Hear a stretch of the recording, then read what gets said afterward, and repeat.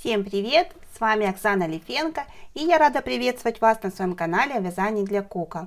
Э, сегодня я покажу вам, как вязать резинку 1 на 1. Вот такое вот эластичное полотно.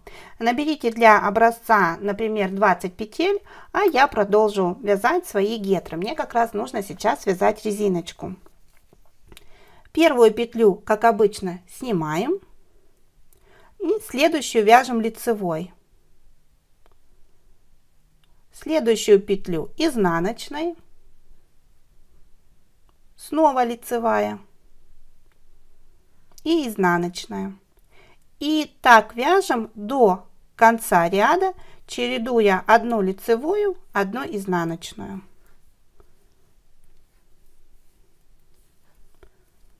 Одна лицевая, одна изнаночная.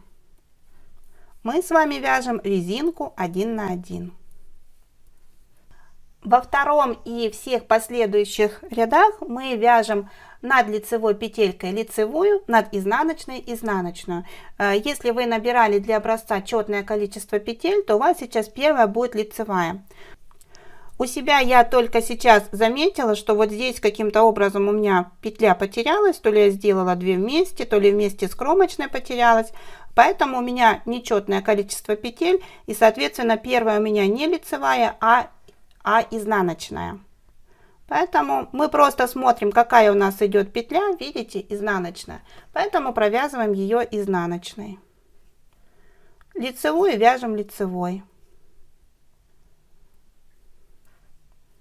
Изнаночную, изнаночную, лицевая, изнаночная. И так повторяем до конца ряда. И в высоту вяжем столько рядов, сколько вам нужно. А когда связали нужное количество вам рядов в высоту, у меня это 5 э, рядов э, резинки. И если вам нужно закрыть петли, то сделать лучше это не косичкой, а чередуя э, изнаночную лицевую, изнаночную лицевую. Тогда полотно будет более эластичное.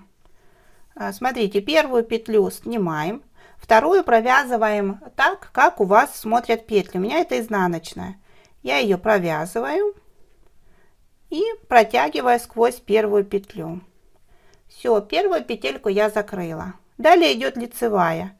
Вяжем ее лицевой и также протягиваем сквозь предыдущую петлю на спице.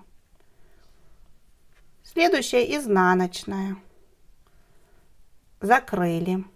Здесь лучше петельки э, вытягивать посвободнее, чтобы у нас Э, резиночка была более эластичная, чтобы не было стянуто.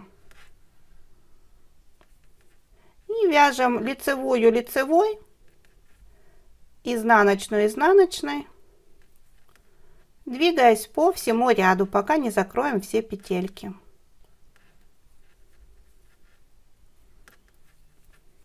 Все, я закрыла петли и вот такой эластичный край у меня получился.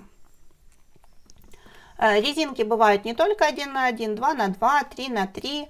Э, вяжутся абсолютно аналогично, просто чередуются, например, 2 лицевые, 2 изнаночные, или 3 лицевые, 3 изнаночные. Э, только учитывайте количество петель, если 2 на 2, то у вас должно делиться на 4. Если 3 на 3, то на 6 должно делиться общее количество петель. На этом сегодня все. Видео простое. Я надеюсь, что у вас все получилось. Ставьте лайк, подписывайтесь на канал, чтобы не пропустить новые видео. Всем пока!